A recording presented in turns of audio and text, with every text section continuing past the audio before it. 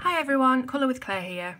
I was asked on a previous video that I did yesterday of my colouring station if I could do a video of my Faber-Castell Polychromos pencils. Um, so here they are. This is the tin that they come in. This is the biggest set that they do, 120, and it's a beautiful quality metal tin. It opens up, just move these, to reveal three layers of pencils. So you have your top layer, which is your whites, yellows, down into your reds, pinks and purples. And then into your indigo blues, right up to sky blues, through to greens and into browns. And then the bottom layer is your skin tones, um, and some sort of different brown shades, your greys into your blacks, and there's three metallics as well. And that's just everything what you get. So as you can see, they provide these elastic handles for you to lift out trays really easily. So it's a great quality thing. These are just plastic, but each one has its own little nook for the pencil, so they're not going to go anywhere.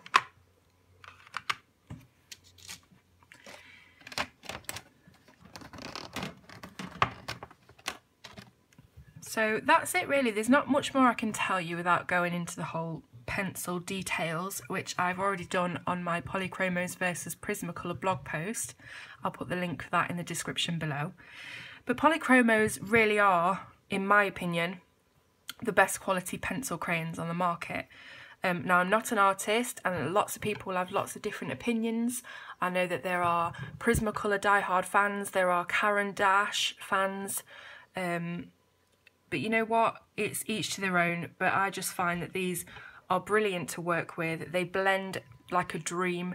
There's no sort of oil marks or wax bloom like you might find um, in uh, Prismacolors.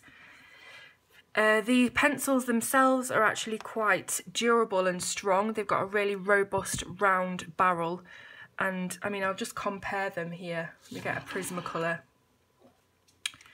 So here is a Prismacolor next to a Polychromo.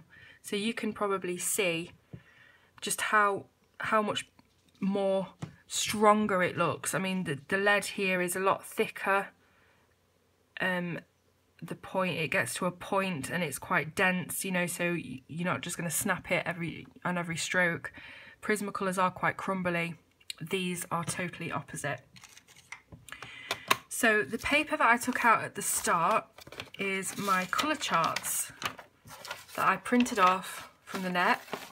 And I've got every single colour here charted out so I can see how they're going to turn out so I can pick palettes if I've got a certain shade of a colour in mind and I just don't know what it's called and can't think I can just refer to this um, colour chart and I'll know exactly where to go straight away.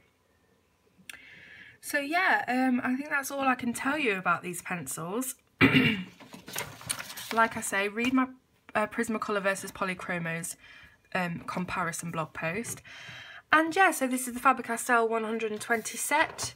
They're around about £130 on Amazon. Well worth it though. They are expensive, but they will last you a long time and they will produce the best results.